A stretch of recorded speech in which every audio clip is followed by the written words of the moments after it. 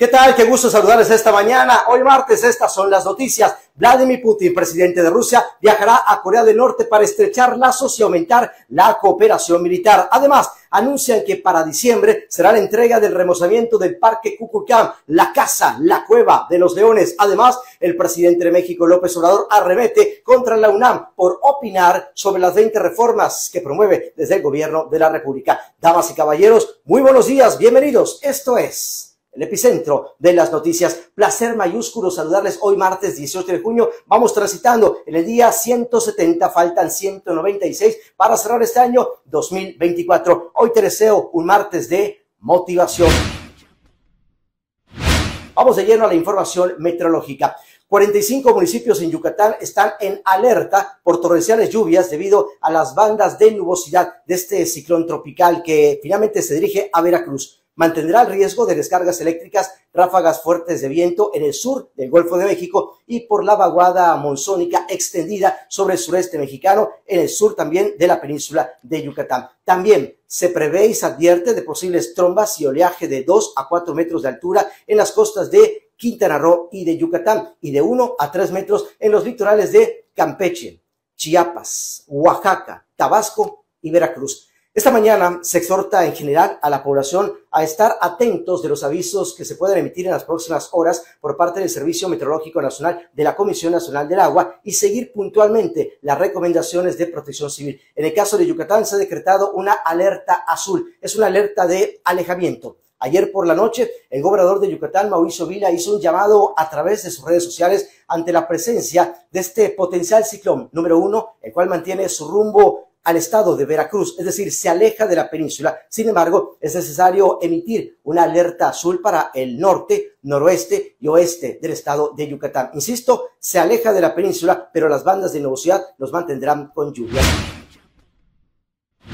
Vamos de lleno a la información local.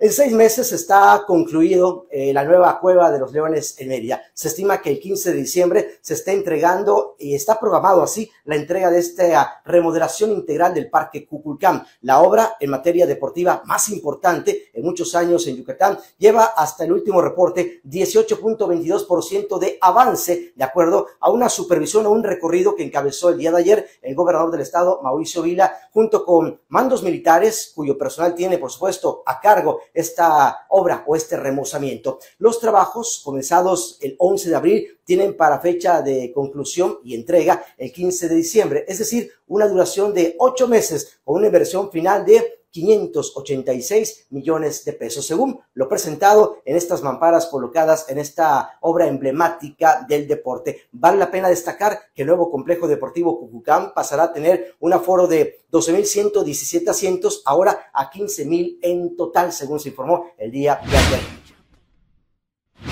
Vamos ahora al territorio de la noticia nacional. El presidente de México, Andrés Manuel López Obrador, ha reclamado a expertos de la Universidad Nacional Autónoma de México por entrometerse, por meterse al publicar un análisis técnico de las 20 reformas del titular del Ejecutivo Federal. El mandatario mexicano, Andrés Manuel López Obrador, no está contento por esta opinión de la UNAM y criticó el modelo del Instituto Tecnológico Autónomo de México al aclarar que no tiene nada en contra de este instituto, pero es una educación para la defensa fundamental, dijo, de intereses personales y empresariales por legítimos que finalmente representen para México. Es así como el presidente de México, Andrés Manuel López Obrador, se quejó de que expertos de la UNAM, quienes salieron, según dijo el presidente, con línea a dar su opinión sobre este importante o polémico paquete de reformas que envió al Congreso de la Unión para, obviamente, su posible aprobación. Dijo que son reformas de Estado que van a ir purificando la vida pública y esto es importante, según el presidente Obrador, porque a todos nos debería interesar que exista un auténtico Estado de Derecho, puntualizó el presidente de México, Andrés Manuel López Obrador.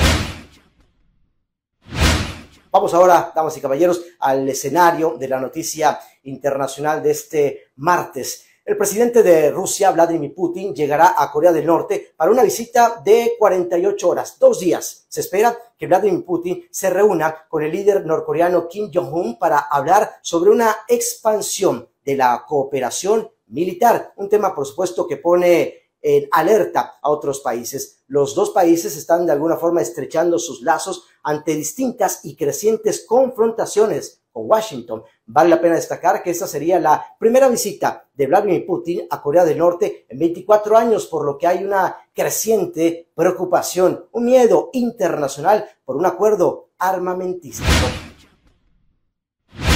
Damas y caballeros, estas serían las noticias más importantes que hoy martes te puedo compartir para iniciar la jornada bien informados. Y el decreto del día de hoy. Dicen que solo el dueño de la casa sabe dónde están las goteras, así que no aceptes críticas de quien no sabe de tus luchas y tus dolores. Soy Antonio García y como siempre como cada mañana, gracias por la enorme distinción de saludarles, leer cada uno de sus comentarios y sobre todo mantenerles informados a través de estas redes sociales. Martes, excelente mañana.